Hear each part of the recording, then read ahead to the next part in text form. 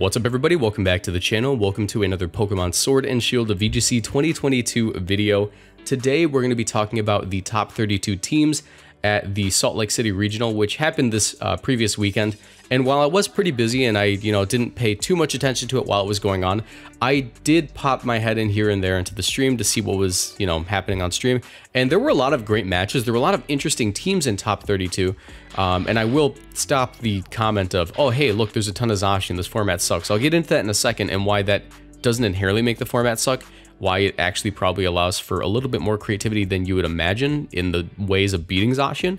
Um, I'm going to get into that in a second, but before we do, if you guys enjoyed this video at any point in time, do me a favor, leave a like on it, subscribe to the channel, and turn notifications because I bring you daily VGC content, and answer my comment question of the day. What are you going to be building around for your next event, whether it be a regional or whether it be like some kind of online tournament? Let me know in the comment section down below, and let's go ahead and get into it.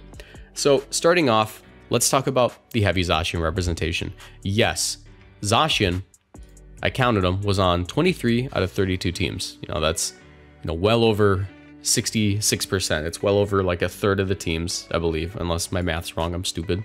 Um, but yeah, it's it's about like two thirds of the teams. So why is that? Obviously, Zacian is the best Pokemon in the format. We've known that for a while. Even on Pikalytics, it's at about 61% usage. It has a natural plus one on switching, it deals double damage to Dynamax, and Steel is just such a great offensive typing in this format. It hits so many things, it's even capable of two-shotting Thundurus when Dynamaxed, uh, Pokemon that resist Steel moves because Thundurus, while you know being a very powerful Pokemon, doesn't have the great physical defense stat, then it needs to take that hit. So you need to intimidate Zacian, and you need ways to intimidate Zacian. And you can see that this tournament, um, more so than using Zacian, was built like a lot of the teams either use Zacian or they prepared to beat Zacian, which might sound intuitive to a lot of you, but I know uh, there are a lot of people who are just now tuning into the channel after the recent success of uh, the VGC lore videos. So I want to get more in depth in that sort of thing and explain a few things that maybe um, some newer VGC players or people who are interested in getting into the format uh, might not know that we all would otherwise know. So yeah, uh, all of top four was Zacian. Uh, but what we can see is that within top eight and top 16, it was less so that Zacian was important to have on your team to win, and more that it was a powerful steel type was needed on your team. Almost all these teams have a strong steel type, whether it be a defensive one or a super offensive one. So top four, all Zacian. In top eight, we see Solgaleo, Zacian, Necrozma Mane, and another Solgaleo. And then in top 16, we can see Solgaleo, one of the only teams, or a few of the only teams that don't have steel types you know, bunched in right here in like the lower end of um, top 16. So you can still succeed without a steel type, but you can see that it gets a little bit, you know, more difficult. You know, Alberto didn't have a steel type and um, uh, didn't have a steel type. Sorry if I like butchered the pr pronunciation there. Uh, but then, you know, we have two more Zacians here and even a Kartana. So steel is very important in this format. With steel being very important, obviously you want ways to beat steel. What's a great way to beat steel? Well, Charizard and Landorus also saw a really decent amount of usage in the format, and one of the Pokemon that wall steel types super well, Gastrodon, also saw heavy representation. So I, my, my like theory at the moment is it's less that Zacian is good and more powerful, oppressive, weakness policy abusing steel types and Zacian are good, if that makes sense. Because we can see Solgaleo and Necrozma Duskmane Solgaleo almost always runs a weakness policy. Sometimes it's Life Orb, sometimes it's Assault Vest, but it's, you know, usually, usually, usually weakness policy. And, and why is that? Well, Solgaleo has the ability Full Metal Body, uh, which makes it so, if I could get to the right screen here, you can't um, actually intimidate Solgaleo. You can't lower its stats with Snarl, Bulldoze, or anything. Um, and when you get a weakness policy boost, look at that. It's like you're at a permanent plus two attack unless something weird happens, like you run into me on the ladder and I topsy-turvy it with a Grapploct. Um, but also the only way to lower that attack set at that point uh, would be to burn it with Mimikyu, which is a very common Pokemon seen on Trick Room teams. It's one of the most reliable Trick Room setters. Or you could even put it to sleep with an Amoonguss if you're running like a Sash Amoonguss and you can take like a Photon Geyser or um, or a uh, Psychic Fangs in, the, in terms of Solgaleo, not so much Necrozma Duskmane here. Uh, so yeah, those are ways to stop Solgaleo. You can see Zach here really centered his team around Solgaleo. Um, we don't have the pace, but I can assume that, you know, there was a way to activate the Solgaleo's weakness policy, whether it be a Sucker Punch which is probably not it on uh, Grimmsnarl, or a Bulldoze on a Calyrex Shadow, which we've seen Calyrex Shadow plus Solgaleo be a thing in the format before, and the way that they deal with, um, you know, any status moves like burns or sleep powders going out into the in the Solgaleo is, oh hey look, there's Tapu Fini, a Pokemon that's already phenomenal in the format uh, because of its access to Misty Terrain. Here to set up Misty Terrain for Solgaleo, blocking that altogether. So basically, this is like really, really hyper focused on getting Solgaleo set up from what I can see. You know, if I could talk to Zach, I might know a little bit more. Uh, but that's that's what I see on its face value. Also, if you want to you know, eh, some people might say, okay, well, Solgaleo might struggle versus Zacian plus Groudon because Groudon's able to take on uh, Solgaleo pretty okay if it has the right support. Um, but also Landorus, a really interesting call that, you know, saw more usage in this tournament than it did on the ladder. Landorus, I believe, is at like 13% usage at the moment. Yeah. Landorus Therian's at like 13% usage. Saw more usage in this tournament than you would otherwise expect. Uh, and I think the reason for that is Landorus does very, very well into Zacian plus Groudon. And why is that? Well, you know, Landorus can hard wall out Groudon. It gets a minus one on it, and then Groudon can't hit it with a Precipice Blades, with a Max Quake. Uh, Max Rockfall does almost no damage, and Max Flare, even in the sun, doesn't do too much because it got intimidated. Zacian, while it can probably still two-shot a less bulky Landorus after an Intimidate, uh, still, you know, it's not able to one-shot it, so you're able to go for that Max Quake into the Zacian and deal major damage. I believe one of the Landorus teams that I saw had a White Herb on it. Uh, yeah, it's White Herb. And why White Herb? You might be wondering, why is White Herb good? Well, White Herb reduces or reverses one of the stat drops that you get uh, once per game. So if you lead off Landorus into a Zacian, well, hey, not only did you intimidate the Zacian, but if they let off uh, with an Incineroar, so maybe their bulky Zacian could take a hit, uh, well, all of a sudden, no, you didn't intimidate me. I'm still at neutral. So it just makes Landorus more reliable to use. And if I could find another Landorus team here, I'd like to see if they were also running White Herb. Um, yeah, yeah, we're seeing a lot of like Swords Dance White Herb Landorus. And looking at the ladder, you know, we usually see like Life Orb, we usually see like Assault Vest. White Herb's only at 20% usage, but the most but the most successful teams in the tournament running Landorus did have a White Herb. Why is that? Well, the thing about Pokemon is when you're preparing for a tournament, and this is a thing that you don't do on the ladder um, as much as you do in the tournament, you are stuck using the team for the whole day, and you need to make sure that this tournament is worth your while. You're traveling, you're you know, maybe you don't care as much about winning, but maybe you want to do well regardless. Um, you need to prepare for your most common matchups and you need to make a call. Practicing with friends is great. Practicing against um, randoms in the ladder is great. But really looking into what's popular and what you expect people to bring is going to get you the best results. Which you can see with these Landorus players saying, hey, I want to beat Zacian, but also I know for a fact I'm going to get intimidated into the ground if I don't bring a White Herb. So I think what I can do is bring, you know, Landorus to not only increase the bulk of the rest of my team, but also, you know, I'm prepared for the Intimidate and I can deal with that. So yeah, like that's a thing that you need to do in this format. And that's why sometimes in tournaments you see usage stats not really reflect uh, what you would expect on the ladder. So yeah, uh, and like I was saying, strong steel types are, are like key to winning this uh, in this format. Uh, you can see here, this was a um, Necrozma Duskmane team, which is a Pokemon that I think gets memed on a lot. I love Necrozma mane, but it hates Incineroar. It absolutely hates facing Incineroar. Um, despite the fact that it can one-shot it with a max Quake at plus two or even plus one, I believe, because of that massive attack stat, uh, you know, it's still capable of getting undersped by an Incineroar and then parting shotted and intimidated. It's not like Solgaleo. It doesn't have full metal body. It has, you know, a thing that just makes weakness policy easier to use with Prism Armor. You know, its its longevity is great. Um, but you can see some people, or, or, one of the people, the only person that used uh, Necrozma mane to success in this tournament is actually running Swords Dance. Why is that? Well, you know, you have weakness policy and you have Swords Dance. Seems a little bit weird. Well, I, I think it kind of makes sense. You're going to be facing a lot of Incineroar. You're going to be expected to uh, get parting shotted and intimidated. And if you expect the Incineroar to come in, well, hey, on that turn, why not go for a Swords Dance? All of a sudden, they didn't reduce your stats. In fact, you're at a, a net gain that turn. And they can still parting shot you, but if your weakness policy went off, hey, at minimum, you're at neutral, and at best you're still at plus two, so you just get a KO that turn. So I think that's like a really interesting call that people have been making with Necrozma recently, uh, and I, th I think that's just like super cool. But yeah, uh, something that we notice is there is a lot of Groudon plus Zacian usage in the format, and I think the heavy use of Groudon plus Zacian, and with, you know, Groudon comes Gastrodon now because you're prepared for the uh, Kyogre matchup. It makes the matchup much easier due to the fact you have Storm Drain, due to the fact that you can yawn opposing Zacian and yawn opposing Dynamax Pokemon and just absolutely, you know, nay-nay on them. Um, what else? What what does you know Groudon plus a Zacian mean for the format? Well, it means that you're going to see a lot of Charizards because Charizard is arguably a better Dynamax target than um, Groudon. Why is that? Well, uh, Charizard's max move deals fire type damage uh, for, I believe it is one six damage for four turns. So you're gonna be you're gonna be dealing two thirds of something's uh, health bar if it stays in for too long, uh, and it also gets solar power. It usually runs like a life orb or a Charti Berry or something uh, to take hits or deal more damage in the sun. So, you know, just max Wildfire in the Sun is one of the most powerful moves in the game. Hard for anything to switch in on, especially Zacian, who won't be able to one-shot a Charizard back due to the resistance. And yeah, it's just like an oppressively powerful Pokemon.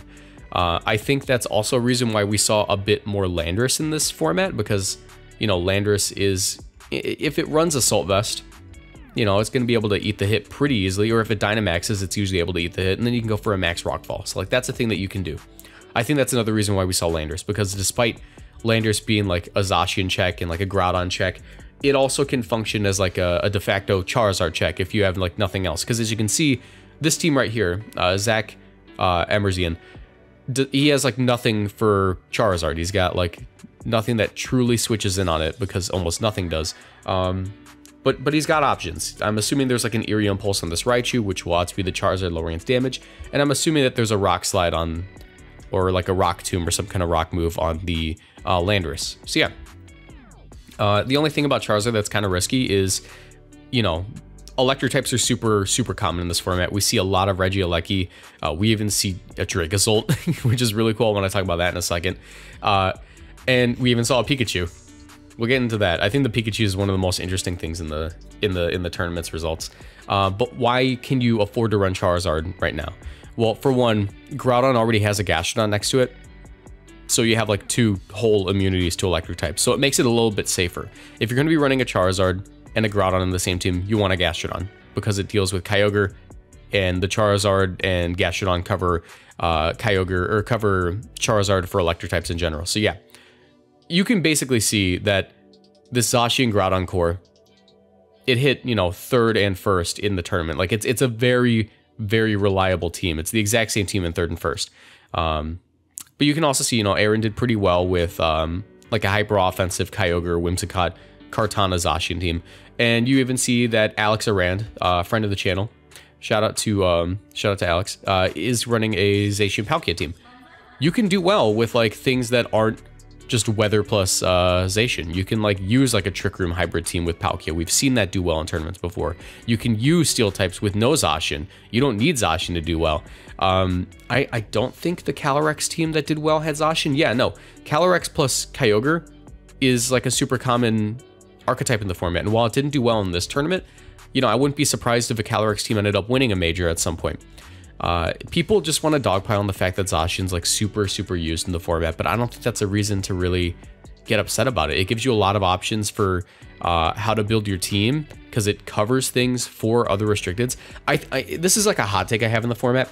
Zacian makes it easier to use your favorite Pokemon because even if your favorite Pokemon fails, there's like a good chance that Zacian covers for that bad matchup, or even vice versa. Let's say like your favorite Pokemon is something that hard checks Groudon. Let's let's say that you have a Zacian on your team and you go, oh hey, this really helps out with the fact, uh, or you know, I you know Zacian loses to Groudon one v one in a lot of situations if it gets intimidated, and your favorite Pokemon just so happens to be. I don't know. Let's let's go with something that's not in the game, like like a Typhlosion. Oh hey, look at that! Typhlosion does really well in the sun, and it beats other Zacian, and it can probably like deal major damage to Groudon if I go for like an eruption. Like that's just like a a really weird example, but it's just one I came up with off the, off the top of my head. But I think that just having Zacian in a team enables you to do cool stuff. Like we see like this hard Trick Room team with Palkia Zacian, that's not, you know, that that's that's not super, super common, but it's like a thing that you see once in a while. And we even see like Solgaleo plus um, Calyrex Shadow with a ton of support. You know, they just beat Zacian outright. Like it's it's a very good way to challenge Zacian. So yeah, um, beyond that, we're going to talk about. I've already, you know, given my two cents on heavy Zacian usage and why I think it's less of a problem with Zacian and more uh, that steel types are super good. And now we're going to move into the fun stuff. Here, here are the fun teams that we saw in the tournament.